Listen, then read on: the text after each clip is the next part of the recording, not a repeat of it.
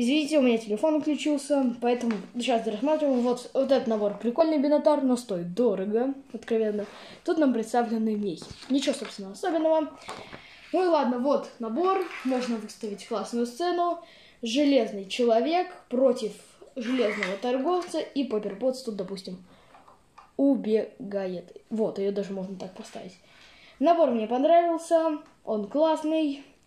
В следующем видео я буду обозревать либо какой-нибудь набор по Marvel, там это будет либо, либо это будет Святилище 2, где, а, где маленькое святилище, там Танос, Капитан Марвел, Железный Человек, либо это будет фигурка Конга по фильму «Годзилла против Конга», которую я очень жду, я очень хочу, чтобы в следующем видео я обозревал именно ее. Но ну, вот, поэтому в следующем видео ждите либо Лего Марвел, либо фигурка Конга. Всем пока, с вами был Могучий Мститель, не прощаюсь.